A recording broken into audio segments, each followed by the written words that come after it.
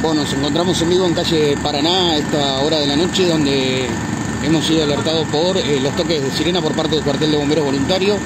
Lo que pudimos contactar en el lugar es que se trata de un incendio de vivienda, eh, vivienda que está siendo, tratando de ser sofocada en estos momentos por el personal de bomberos voluntarios en conjunto con el personal del SPLIF. Tres dotaciones de bomberos trabajan ahora en este momento eh, en esta vivienda ubicada sobre calle Paraná le sumamos a eso también una dotación del SPLIF que se ha acercado, sumándose también en manera de refuerzo al personal de bomberos voluntarios. Eh, estuvimos charlando con la propietaria de la vivienda, eh, o los propietarios de la vivienda, quienes se encuentran fuera de peligro. Afortunadamente eh, no han revestido ningún tipo de herida ni de lesiones a causa de este incendio en su vivienda.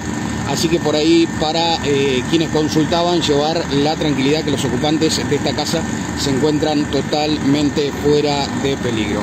Habrá que evaluar seguramente los daños materiales que haya causado el incendio en esta vivienda, pero por el momento llevarles la información de que eh, tres dotaciones de bomberos más una dotación del split en conjunto con el personal de la policía de la unidad número 20 están trabajando en el lugar tratando de, por supuesto, eh, contener las llamas y tratar de extinguir el foco de incendio en esta vivienda. Nosotros les mostramos algunas imágenes de lo que aquí acontece en estos momentos.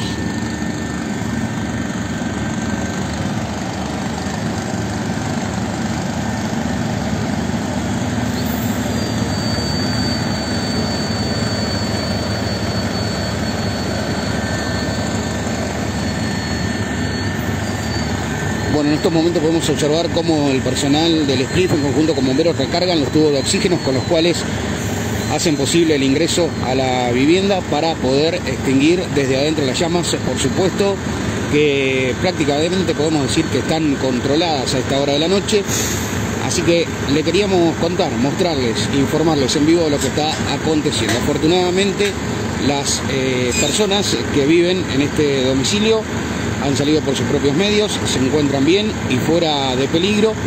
Habrá luego que evaluar seguramente los daños ocasionados por el fuego en esta vivienda. Les acercábamos la información minuto a minuto de lo que acontece sobre calle Paraná.